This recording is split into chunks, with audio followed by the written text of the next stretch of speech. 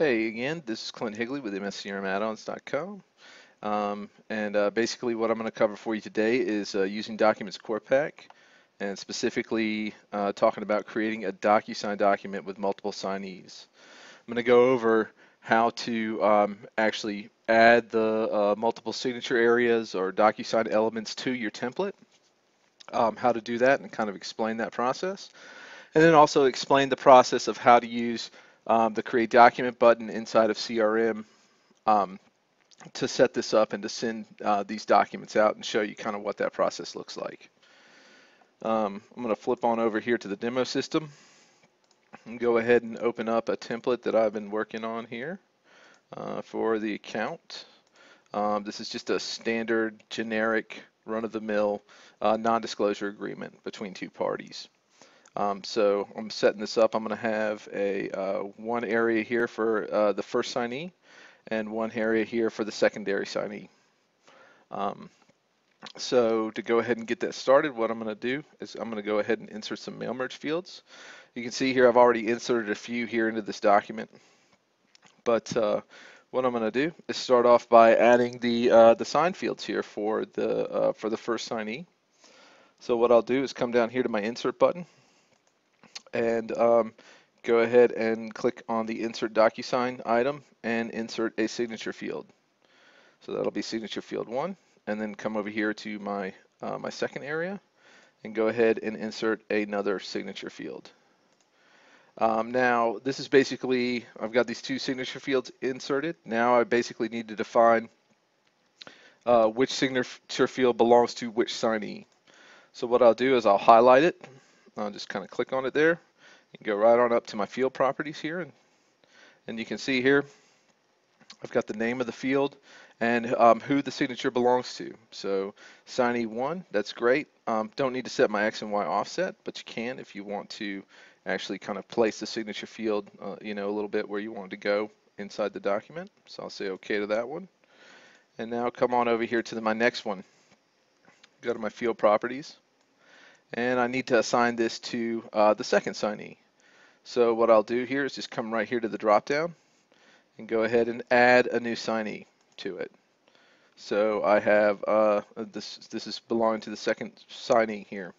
I can do as many as I want to, delete uh, delete individual one, uh, delete the last one if I want to, but I can have as many signees as I want to have here.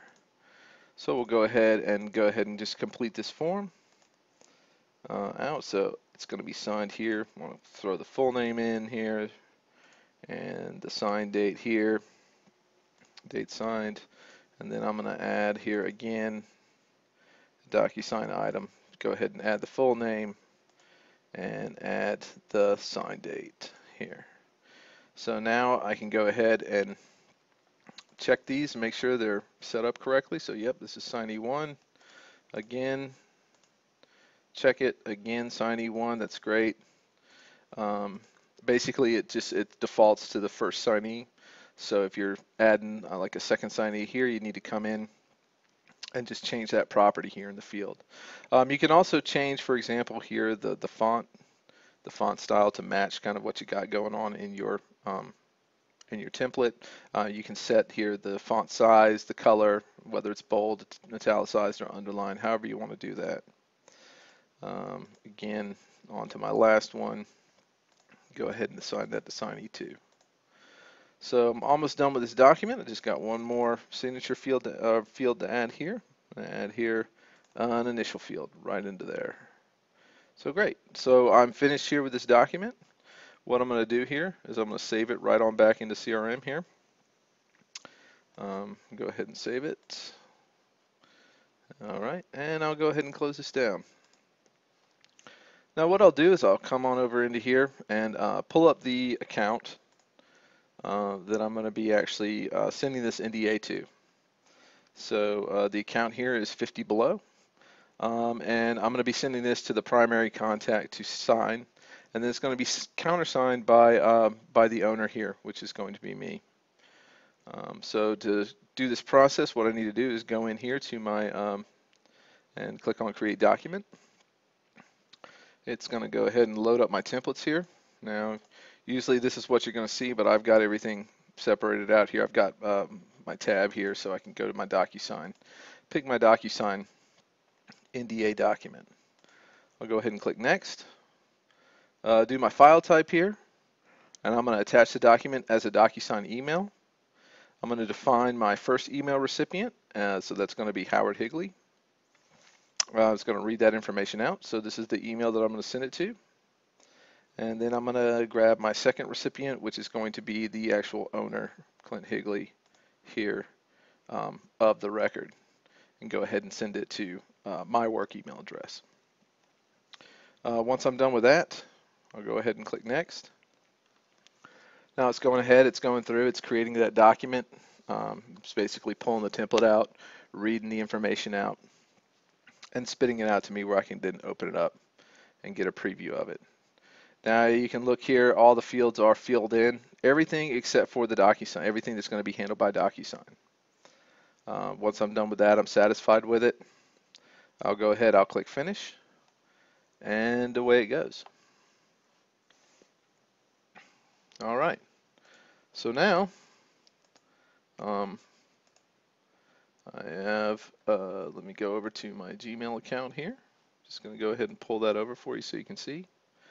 Uh, so this is the Gmail account here of the first signee. Um, uh, it's basically asking me to go into DocuSign and review that document. So I'll go ahead and review. And just basically go through the general DocuSign process here. So agree um, and then continue. And then go ahead and start. So first thing I'm going to need to do is just initial here. All right, that's great. Put that in there. Come on down here to my uh, my sign field here. Sign that in, and I'm good to go. So I'm finished. All right, so that is the first portion of it now. Uh, let me check my work email here. Just go ahead and open that up real quick. As you can see, I've got a document here that's been sent to me, so for me to countersign. Um, so I'm going to go ahead and review that document as well.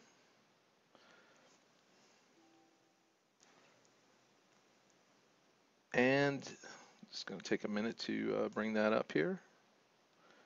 So let me go ahead and log into this.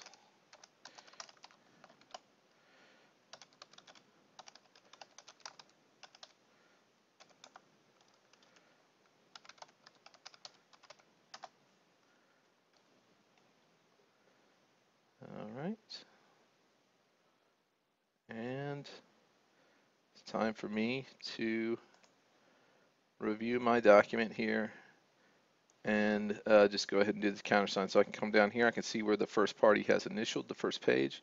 I can see where the first party has signed. Um, and then I'll go ahead and sign it myself and finish that up. So let's see. So now, uh, once that's done, it's going to take just a brief moment here for uh, DocuSign to deliver uh, my finished document over to me. So you can see here DocuSign has delivered it. I'll go ahead and I can open that up and pull this over for you.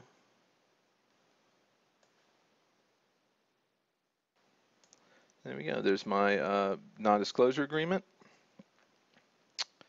uh, with my DocuSign fields. Everything's signed. Everything's all good to go. Signatures are in there. It's been signed by one and then countersigned by the owner um, of the actual record itself. And then now I can just basically track that, track this email back into CRM, and I'll have my um, my signed PDF in there. Uh, thanks for watching. I appreciate your time and uh, uh, look forward to speaking to you again on another video soon.